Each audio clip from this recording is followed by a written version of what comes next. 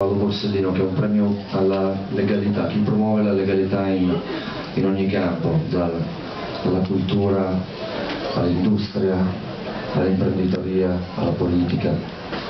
E quest'anno è toccato a noi e ci siamo sentiti veramente un po' imbarazzati perché eravamo insieme a persone che rischiano la vita tutto il giorno, collaboratori di giustizia, squadra antimafia, eccetera. Noi eravamo solo dei musicisti, però queste parole in realtà dicono che cosa può fare la cultura, che in Italia è considerata un bene di lusso. In realtà Borsellino dice che la mafia è un problema di cultura, non in senso restrittivo e puramente nozionistico, ma come insieme di conoscenze che contribuiscono alla crescita della persona. Tra queste conoscenze vi sono quei sentimenti, quelle sensazioni che la cultura crea e che ci fanno diventare cittadini, apprendendo quelle nozioni che ci aiutano a identificarci nelle istituzioni fondamentali della vita associativa e a riconoscerci in esse.